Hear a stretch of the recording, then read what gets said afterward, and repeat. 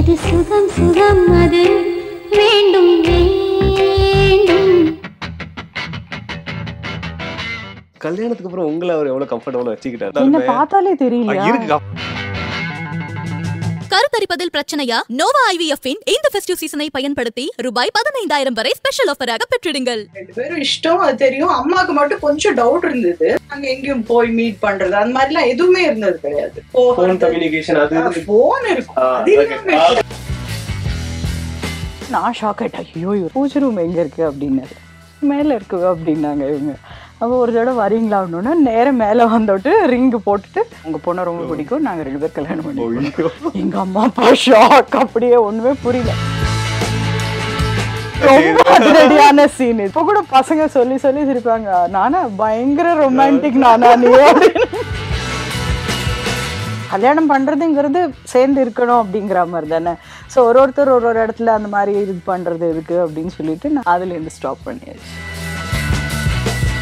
வாரிசு படத்துல வந்து நடிச்சாங்க. ஆல்மோஸ்ட் அது தேர்ட்டி இயர்ஸ்க்கு அப்புறமா தான் தமிழ்ல நடிச்சாங்க. செட்ல நீங்க போனீங்களா இப்போ வரைக்கும் அவரோட செட் சிகாந்த் சார் செட்டுக்கு போகவே மாட்டேன். எந்த ஃபங்க்ஷன்ஸ்க்கு இதெல்லாம் கூட நான் ஜாஸ்தி உங்களை பார்த்ததே கிடையாது அது. இவரு கேட்டு கேட்டு அழுத்து போச்சு. நான் நம்பர் கொடுக்குறேன் நீங்க வேணும்னா பேசிக்கோங்க. நான் பேச மாட்டேன். பேச மாட்டேன். ஒத்துக்க மாட்டா வர மாட்டேன்னு சொல்லுவார். ரஜினி சார் தான் மிஸ் ஆயிருக்காரு அவரு மட்டும்தான் மிஸ் ஆயிடுச்சு இன்னும் கொஞ்சம் இருந்திருந்தா பண்ணிருக்கலாம்.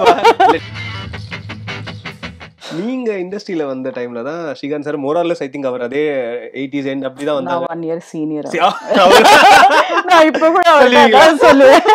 நீங்க நைன்டி நான் எயிட்டி நைன் அப்படி. அவர் ஓகே ஓகே நீ தான் senior one year difference first படம் நடிக்கிறதுக்கு முன்னாடி சாரோட படங்கள் பார்த்தது உண்டா அப்ப? அந்த- டைம்ல அவர் தெலுங்கு நான் இப்போ ஒண்ணுமே டச்சே இல்லை எனக்கு. ஒண்ணும் பார்த்ததே கிடையாது. இந்த படத்துல இருந்து தான் வந்து I think three to four films பண்ணீங்களா அந்த டைம்ல யா ஃபோர் ஃபிலிம்ஸ் டுகெதர் பண்ணீங்க நீங்க. எப்படி அந்த காதல்? ஒரு அது இப்போ நாங்க யோசிப்போம். எப்படி வந்ததுங்க யாருக்குமே தெரியாது. யாரு ப்ரப்போஸ் பண்ணா? அது ஃபர்ஸ்ட் அவர் தான் சொன்னாரு. பட் என்னன்னா ரெண்டு பேருமே வந்து ஒரு டைப் ஆஃப் அது சேம் மென்டாலிட்டி இருக்கிற இது. ஃபேமிலி நான் ரொம்ப அட்டாச்மெண்ட் இருக்கிறது.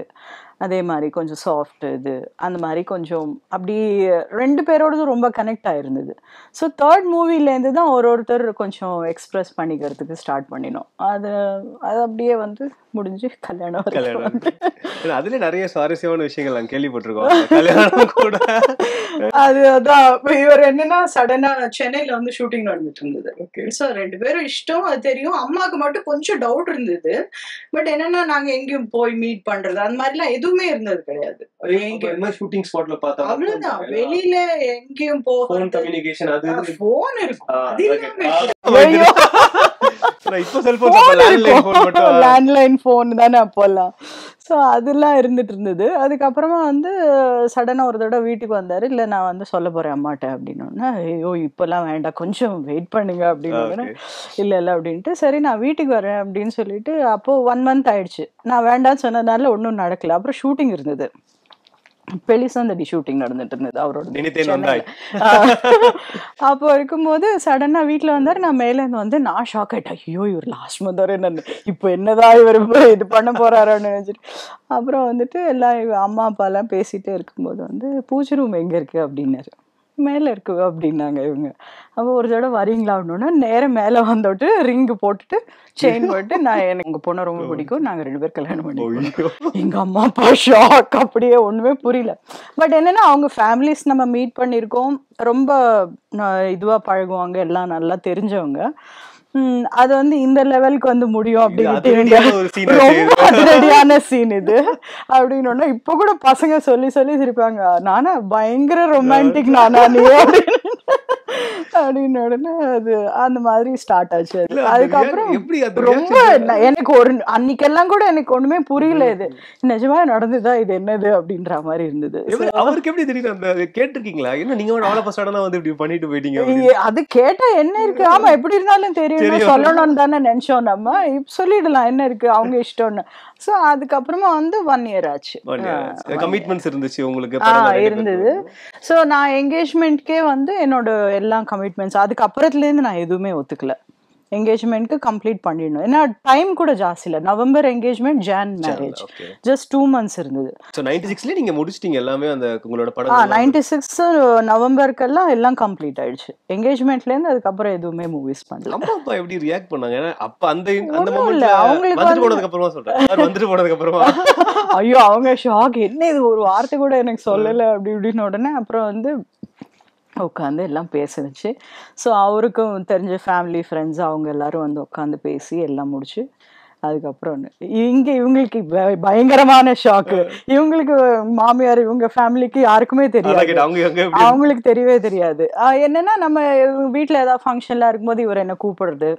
ஸோ அந்த மாதிரி வீட்ல நமக்கு வந்து பழக்கத்தை ஆஹ் வந்து அந்த ஒரு பழக்கத்தை அப்படியே அரேஞ்ச் பண்ணிட்டு. ஸோ அந்த மாதிரி தானே வழி. அப்போ அவங்களுக்கும் சரி ஓகே அப்படின்னு சொல்லிட்டு. ஆக்சுவலி இது ஒரு விதமான ட்ரிக்ஸ் இல்ல. அதாவது வந்து முன்னாடி நம்ம வீட்ல வந்து இந்த மாதிரி அப்ப. அட்டாச்மெண்ட் வரும். அந்நியமா தெரியாது டக்குனு ஆமா பார்க்கும்போது அந்நியமா. தெரியாது. நட்சத்திர ஜோடின்றது எப்பவுமே வந்து. சினிமா நம்ம பார்த்திருக்கோம் நிறைய. வெரி ஃபியூ மட்டும் தான் அது செலிப்ரேட் பண்றது மக்கள் இருக்கும்.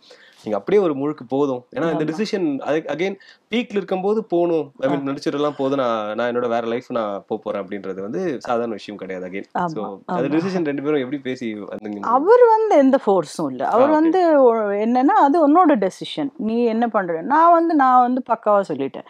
என்கேஜ்மெண்ட்டோட என்னோட எல்லாமே நான் ஃபினிஷ் பண்ணிடுவேன்.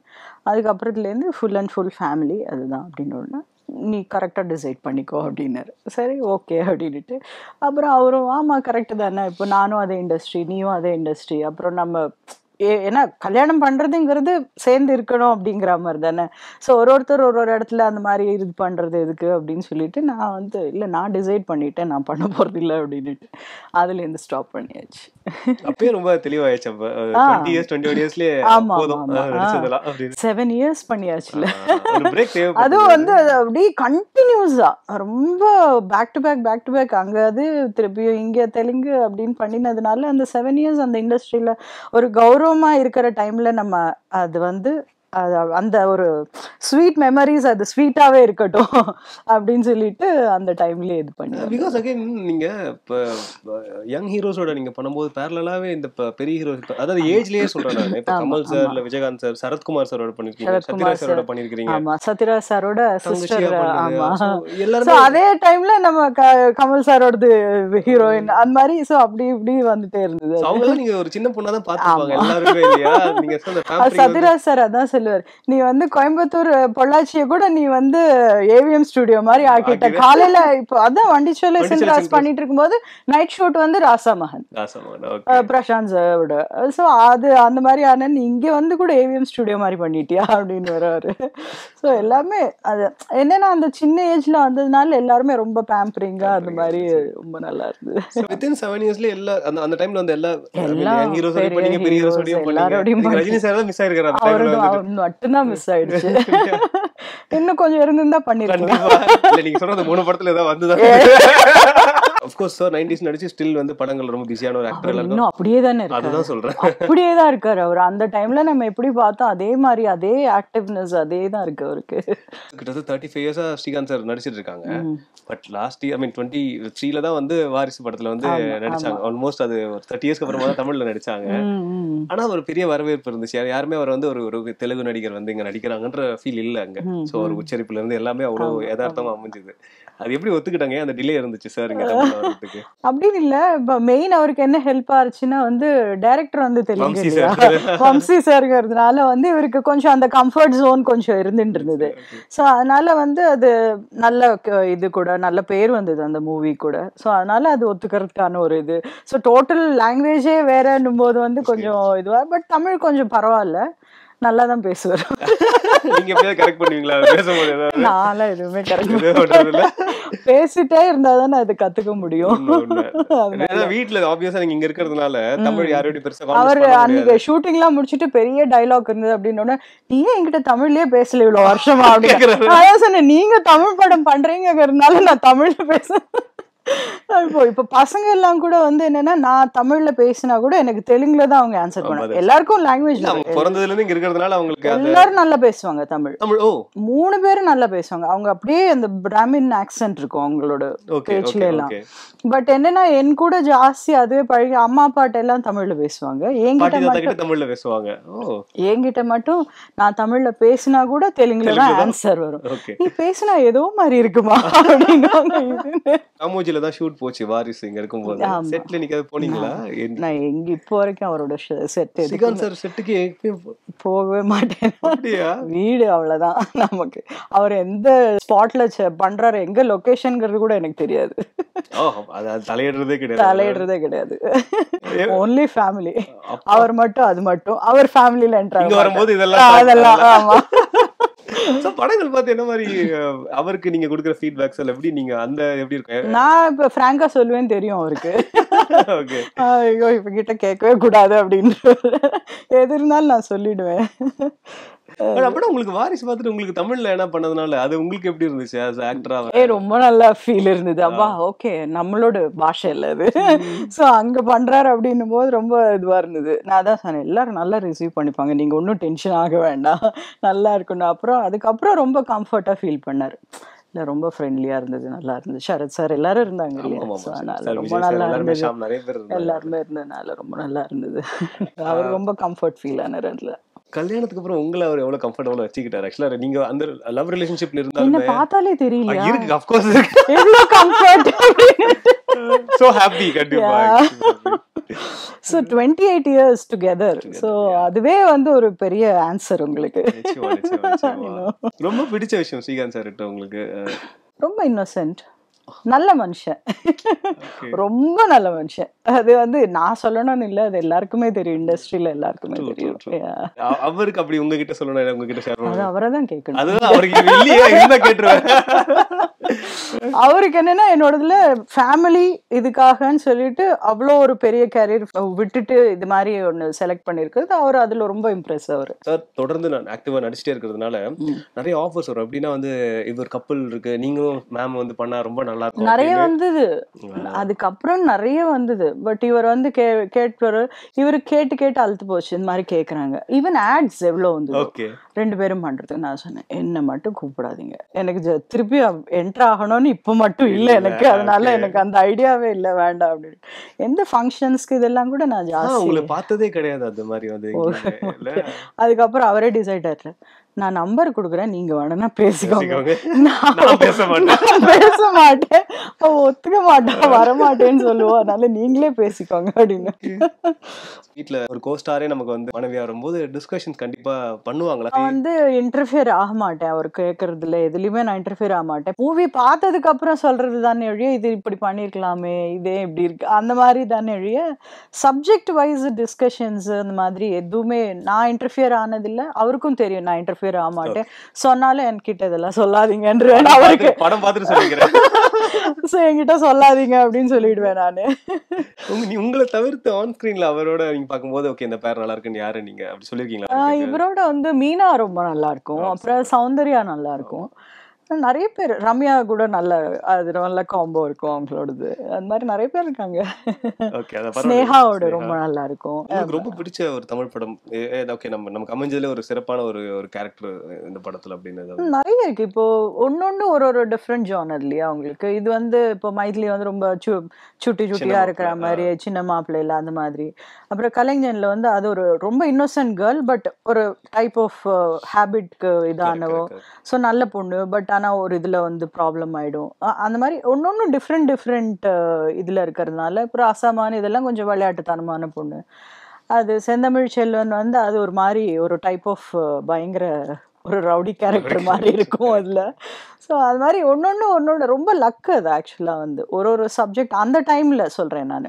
ஒரு ஒரு மூவிலையும் ஏதோ ஆ சிவரஞ்சனி ஆ ஓகே இந்த கேரக்டர் இவங்க பண்ணினாங்கன்னு ஒரு ஞாபகம் வச்சுக்கிற அளவுக்கு அந்த கேரக்டர்ஸ் எனக்கு அந்த டைம்ல அமைங்கிறதுங்கிறது வந்து ரொம்ப லக் அது. முதல்ல தெலுங்குல போறதுக்கு ஒரு தயக்கம் நமக்கு. ஜெயசுதாமன் குடும்பம் இருந்தவங்க. அதுக்கப்புறம் தெலுங்குல போறாங்க படங்கள் பண்றாங்க. பேரே மாறுது ஊஹான் பேர். அந்த பேர்ல படமும் வருது?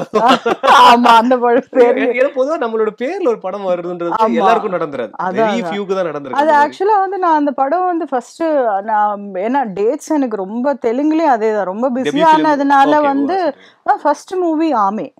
இவரும் ஹஸ்பண்ட் நானு ஸோ நாங்க மூணு பேரும் பண்ணினது. ஊஹாங்கிறது வந்து நடுவுல நடுவுல பண்ணீங்க. ஃபர்ஸ்ட் படத்துல இருந்தே நீங்க ஏன்னா அந்த படம் எப்படி இருந்துச்சு? முதல் படமே முதல் சாரோட. படமே அது முதல் படமே வந்து எல்லாம் டைலாக்கு எல்லாமே வந்து பெரிய பெரிய பெரிய டைலாக் எல்லாமே அதுவும் ஹீரோயின் ஓரியன்ட் மூவி தானே. ஸோ அது நான் நினைக்கல அது வந்து ஸ்டேட் அவார்டு வரும் அப்படின்ற ஒரு லெவலுக்கு வந்து, ஆமா நந்தி அவார்டு வந்து அது ரொம்ப எனக்கு ரொம்ப இதுவா இருந்தது. Surprising and so lucky first மூவில வருதுங்கிறது. ஏன்னா டிஃப்ரெண்ட் லாங்குவேஜ்ல இருந்து ஒரு பொண்ணு வந்து பண்ணிட்டு அதை வந்து இவங்க தெலுங்கு ஆடியன்ஸ் வந்து அவ்வளோ அக்செப்ட் பண்ணிட்டு. ஸோ அதுக்கு வந்து எனக்கு அந்த ஒரு கௌரவம் கொடுத்தது வந்து ரொம்ப ஹாப்பி அது. புனை பெயர்கள் நிறைய இருக்கும். நம்ம வந்து ரசிகர்கள் நம்மள வேற வேற பேர்ல கூப்பிடுறதுலாம் இருக்கும். ஆனா நீங்க ஒரு ஒரு ஸ்டேட்டுக்கு ஒரு. சொந்த பெயர் உமா மகேஸ்வரின் இருக்கு ஆக்சுவலி இங்க வந்து என்னன்னா வடிவக்கரசி அம்மாவோட பேரு சிவரஞ்சனி இங்க. சோ அதனாலதான் அவங்க வந்து இங்க என்னோட பேரு மாத்தினாங்க. ஃபர்ஸ்ட் ஊஹான்னு சொன்னோட ஊஹானா இமேஜினேஷன் சோ அது நமக்கு அப்புறமா தான் தெரிஞ்சது. இது என்ன கராட்டே சவுண்ட் மாதிரி இருக்கு என்ன இது? அப்படின்னுட்டு. "ஆ, என்ன இந்த மாதிரி பேருன்னா அப்புறம் அவங்க சொன்னாங்க ஐயோ எவ்வளவு நல்ல பேர் தெரியுமா? அதுக்கப்புறம் வந்து பார்த்தா நான் இந்த படத்துல என்னோட பேர் அது ஆனதுக்கு அப்புறத்துல இருந்து இண்டஸ்ட்ரிக்கு நிறைய பேர் சின்ன சின்ன குழந்தைங்க பிறந்த குழந்தைங்கலாம் ஊஹான் பேர் வைக்க ஆரம்பிச்சிட்டாங்க. சோ அப்போ ஓ பரவாயில்லையே. இப்ப சிவரஞ்சனின் வடிவசி அம்மாவோட பேர் இருந்துச்சு அதனால எனக்கு ஊஹான் மாத்துனாங்க பட் உமா மகேஸ்வரி எப்படி சிவரஞ்சனி ஆனாங்க தமிழ்ல? சிவரஞ்சனிங்கிறது வந்து ஆக்சுவலா இவர் மன்சார வாழ்த்துங்கள் இப்ப இதுல கூட உமானு தான் இருந்தது. நிலா பெண்ணில பெண்ணில கூட உமா. மகேஸ்வரின் தான் இருந்தது. பட் அதுக்கப்புறமா வந்து மனசார வாழ்த்துங்களின். ப்ரொடியூசர் அவர் வந்து இல்ல நம்ம பேர் மாத்திடலாம் அப்படின்னு சொல்லிட்டு அதுக்கப்புறமா அவரு வச்ச பேர் தான் இது. பார்த்துட்டு சிவரஞ்சனின்னு வைக்கலாம் அப்படின்னு சொல்லிட்டு அது மாத்தினது. ஒரு ஒரு ஸ்டேட்டுக்கு ஒரு ஒரு பேர் சிவரஞ்சனி. இருக்கு. ஆக்சுவல் நேம் உமா மகேஸ்வரின்னு இருக்கு. வீட்ல எப்படி கூப்பிடுவாங்க? கன்ஃபியூஷன் வராதா வீட்ல? இல்ல இல்ல வீட்ல உமா தான் எல்லாருமே உமான்னு தான் கூப்பிடுவாங்க. அம்மா அப்பா மட்டும் சில டைம் சின்னதுல இருந்து அம்மு அப்படின்னு பழக்கம் ஜாஸ்தி. அம்மு அண்ட அப்படின்னு சொல்லுவாங்க. இல்லைன்னா அம்மு குட்டி அப்படின்னுவாங்க. அது கொஞ்சம் பழக்கம் அது. ஸோ ஜாஸ்தி மட்டும் உமான் தான். உமாங்கிறது தான் கூப்பிடுவாங்க வீட்ல. உங்களோட ஃப்ரெண்ட்ஸ் சர்க்கிள்ல யார சொல்லுவீங்க? டூ இயர்ஸ் முன்னாடி கூட நைன்டிஸ் ரியூனியன் இருந்தது. ஸோ எல்லாரும் போனோம். சுகன்யா மீனா நாங்கள் எல்லாருமே வந்து கேதர் ஆனோம். சங்கீதா எல்லாரும் கேதர் ஆனோம். என்னன்னா இப்போ நைன்டிஸ்ல இருக்கிறவங்க இன்னும் மூவிஸ் நான் பண்ணிட்டே இருக்காங்கங்கிறதுனால வந்து ஃப்ரீக்வெண்ட்டாக மீட் பண்ணுறதுக்குங்கிறது வந்து கொஞ்சம் ஏன்னா அவங்க சில பேர் அங்கே சென்னையில் இருக்காங்க சில பேர் கேரளாவில் இருக்காங்க சில பேர் ஆந்திராவில் இருக்காங்க. அது கொஞ்சம் மீட் பண்ணுறது மட்டும் கொஞ்சம் கஷ்டமாக இருக்கு. எல்லாரும் அவங்க ப்ரொஃபஷனில் இன்னும் இருக்கிறதுனால. சென்னைக்கு நீங்க எவ்வளவு ஃப்ரீக்வன்சி ரொம்ப ரேரா தான் வந்து ரொம்ப போறது rare. சென்னைக்குன்னு சொன்னீங்க. ஆமா, ஆமா. அப்படி வந்தா சென்னைக்கு வந்தா உங்களுக்கு நீங்க அது அந்த ஃபேவரட்டா போற ஃபீலே வேற அது. எனக்கு பீச் ரொம்ப பிடிக்கும். ஏன்னா இங்க இல்லையே.